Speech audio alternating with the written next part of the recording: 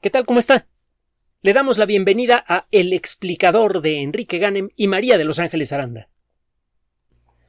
En los últimos meses, cuando hablamos de la lucha contra COVID-19, involucramos desde luego a la biología molecular, a la genética, a la eh, epidemiología, a la virología, a muchas disciplinas que están unidas bajo el mismo manto, el manto de las ciencias de la vida. Aunque claro está, siempre hay la contaminación de la química, por ejemplo, o de las estadísticas en el caso de la epidemiología, que es una forma avanzada y especialmente sabrosa de matemáticas. Pero la física, ¿qué tiene que decir con respecto a COVID-19?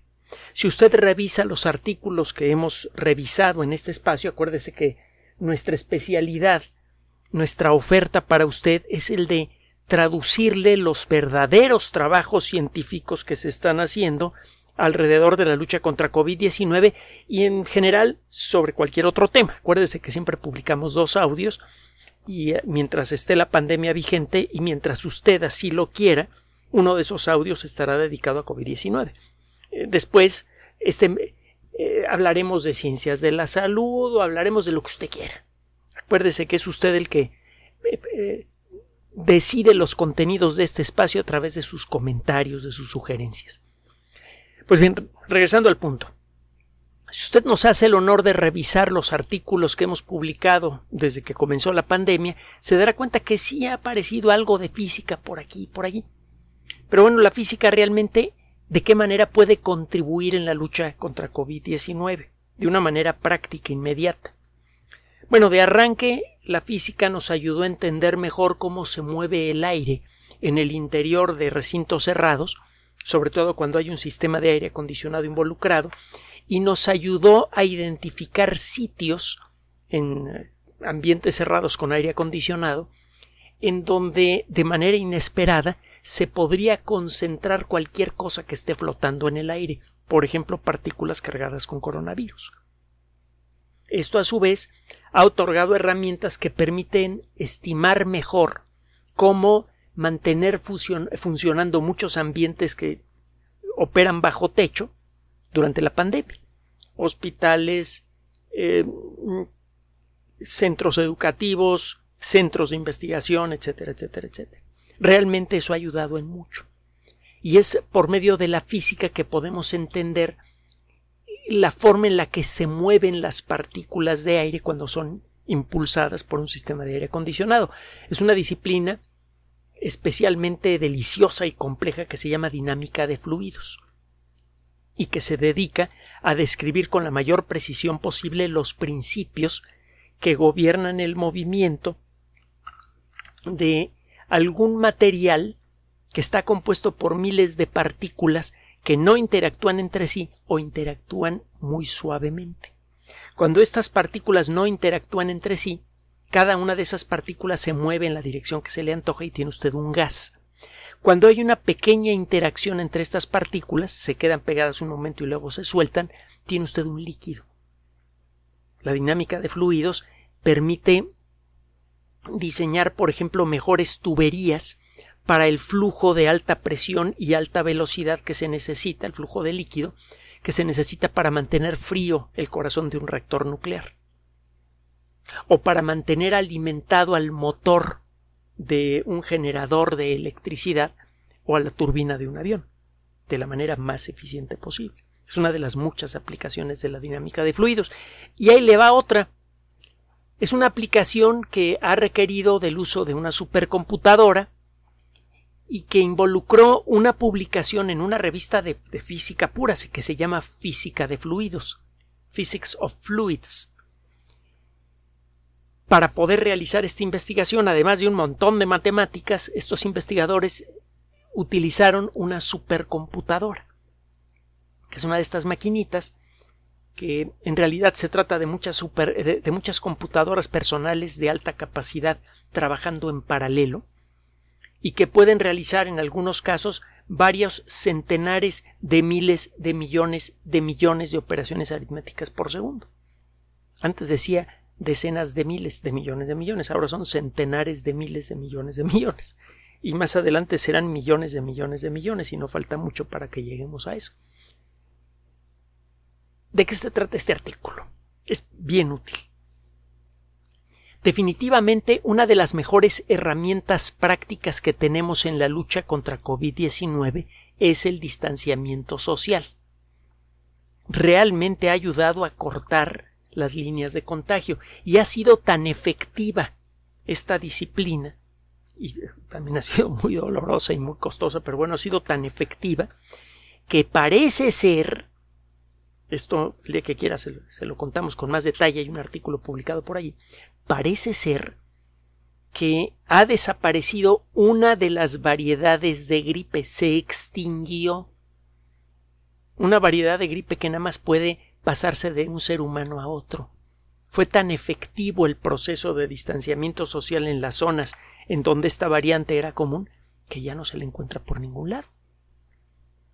Ya era hora de que aplicáramos nuestro extraordinario talento para extinguir especies para darle en la torre a un virus, que formalmente hablando no es una especie porque no está vivo, pero bueno.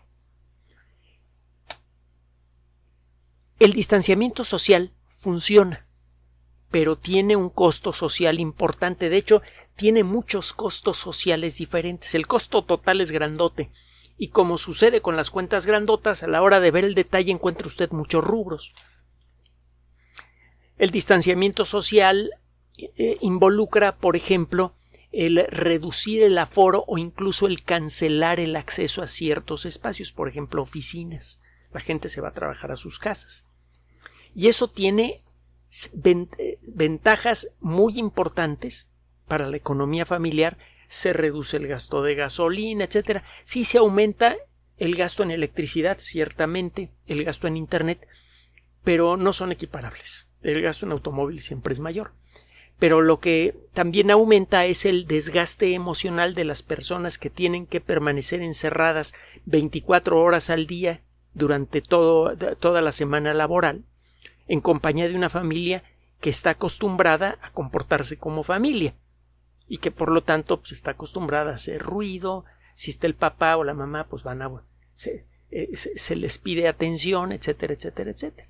Y eh, eh, el trabajar en casa ha alterado este elemento fundamental del funcionamiento de muchas familias con consecuencias a veces desagradables. El distanciamiento social ha tenido también un montón de otras consecuencias. En la actualidad, el distanciamiento social sigue vigente en muchos países del mundo. En Europa, por ejemplo, parecía que ya comenzaba a relajarse la situación, pero como era de esperarse, empezaron a aumentar los contagios y ya están estudiando regresar de nuevo al, asunto del, del aislamiento social, del distanciamiento, del uso de mascarillas. Y mejor antes que, que ya que se haya declarado una nueva ola de infecciones. Pero bueno, el caso es que en muchos ambientes el distanciamiento social genera problemas graves de frustración que muchas veces tienen como consecuencia que la gente abandona la disciplina de mantener el distanciamiento social.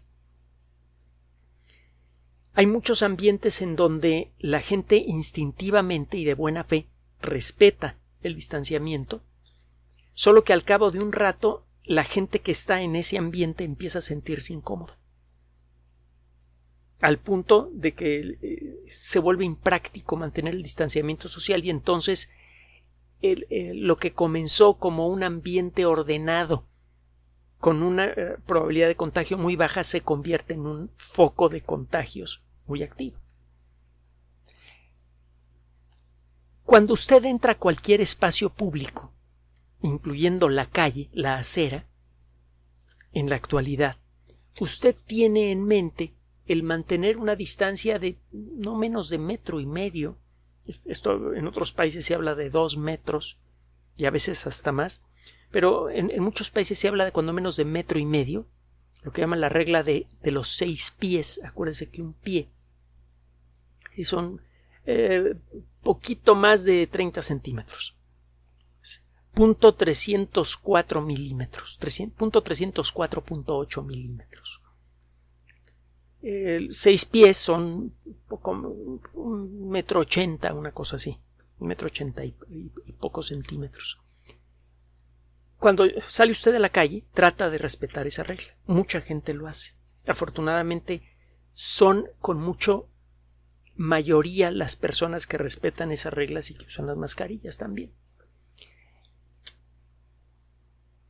La capacidad de carga de una, de una acera, es decir, la capacidad de permitir que la gente circule sin estorbos en una acera, se reduce mucho con la regla de los seis pies. Si usted tiene que mantener una distancia de aproximadamente un metro ochenta o dos metros con eh, la persona que va caminando delante y la persona de atrás respeta la misma regla, el número de personas que caben en la acera se reduce sustancialmente. Sobre todo en los centros eh, de las grandes ciudades, incluso cuando tiene usted avenidas muy amplias como las que pueden existir, por ejemplo, en París, en algunos lugares de París, eh, hay tanta gente que eh, en un día eh, normal en verano, pues usted puede encontrar miles y miles de personas.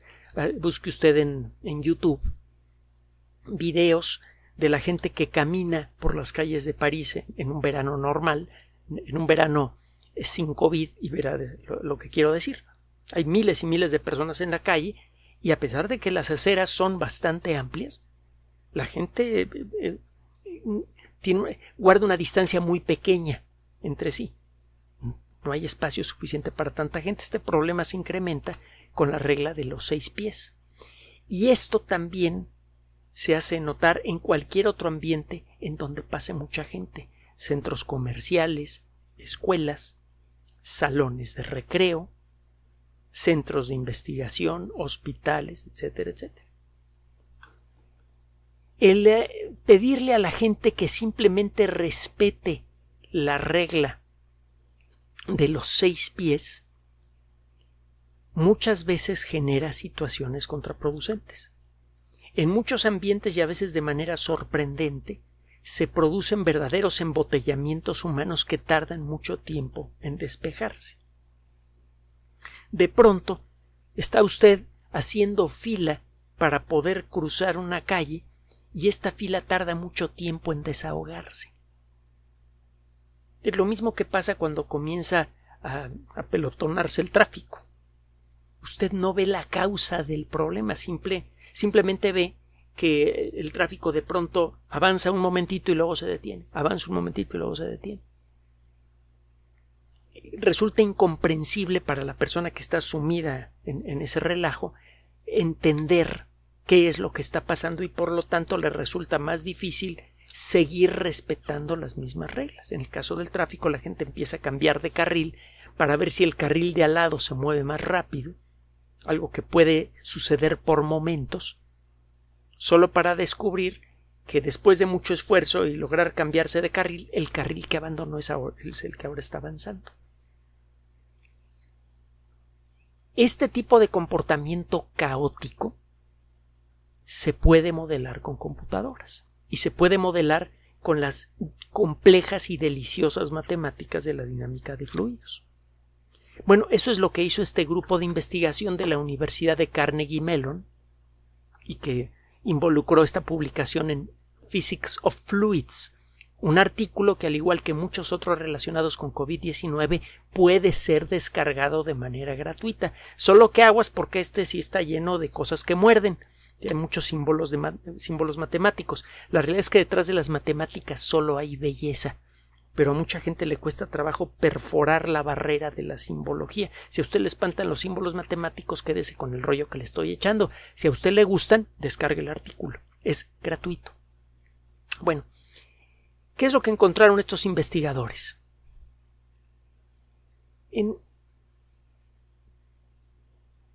encontraron a la hora de hacer la simulación del el flujo de personas en distintos ambientes que pretenden respetar la regla de los seis pies, que hay puntos en donde se puede predecir cuándo van a empezar a ocurrir embotellamientos humanos. En el momento en el que la densidad, el número de personas en una cierta, eh, en una cierta área rebasa un cierto límite. En ese momento es predecible que van a comenzar los problemas de tráfico y que si esos problemas no se desahogan rápidamente, la gente frustrada va a abandonar la regla de los seis pies y van a comenzar los contagios. En algunos casos no hay mucho que se pueda hacer al respecto, por ejemplo, en, algunas calles. Sin embargo, en muchos sitios bajo techo se puede predecir con una eh, precisión mayor qué puntos, por ejemplo, de un centro comercial se prestan a la creación de embotellamientos humanos como consecuencia de la regla de los seis pies. Es posible entonces, con la ayuda de la computadora, simular qué pasa, por ejemplo, si le pedimos a la gente eh, que va de norte a sur que circule por el carril de la derecha y las que caminan en la dirección opuesta que, que caminen del otro lado. Si genera usted carriles para la gente que va en una dirección o en otra, usted puede simularlo en la computadora.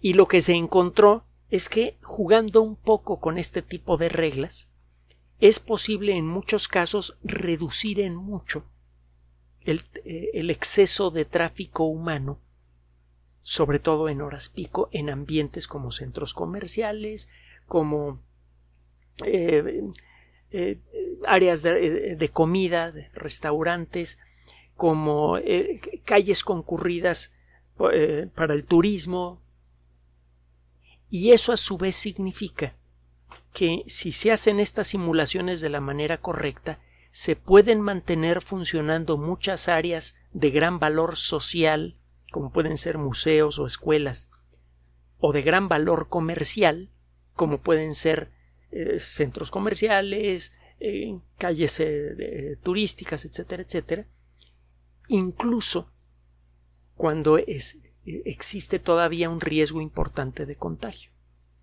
Es decir, es posible planear con la ayuda de la computadora por dónde debe caminar la gente para reducir al mínimo el riesgo de contagio y mantener abiertos por más tiempo negocios, centros sociales, etc.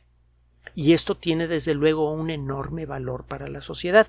Recuerde que COVID-19 ya ha matado a más de cuatro millones de personas y ha afectado a muchos millones.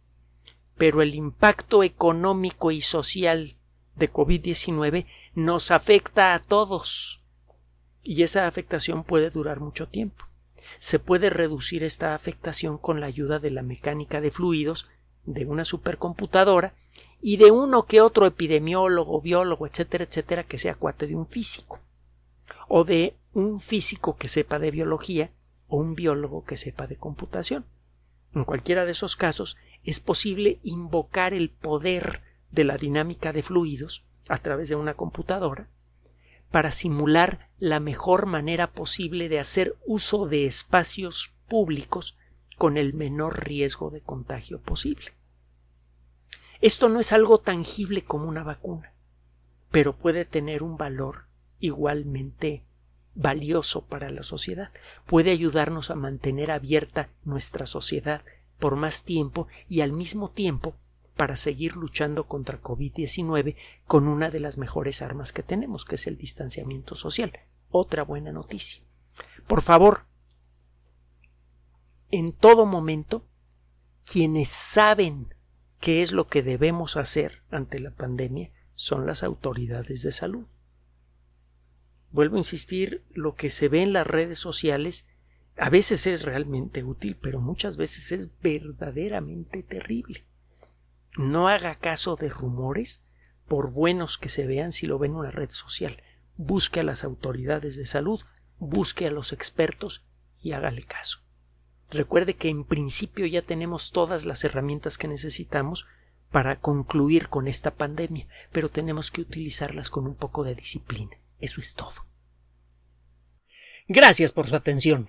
Además de nuestro sitio electrónico www.alexplicador.net, por sugerencia suya tenemos abierto un espacio en Patreon, el explicador Enrique Ganem, y en PayPal, el explicador patrocinio por los que gracias a su apoyo sostenemos este espacio.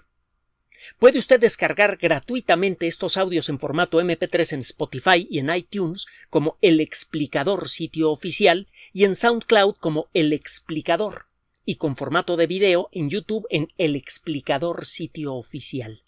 Recuerde nuestras redes sociales de siempre, Twitter Enrique-Ganem y en Facebook Enrique Ganem sitio oficial, El Explicador y los grupos que usted ya conoce. Finalmente, el explicador siempre somos María de Los Ángeles Aranda y Enrique Ganem. Gracias.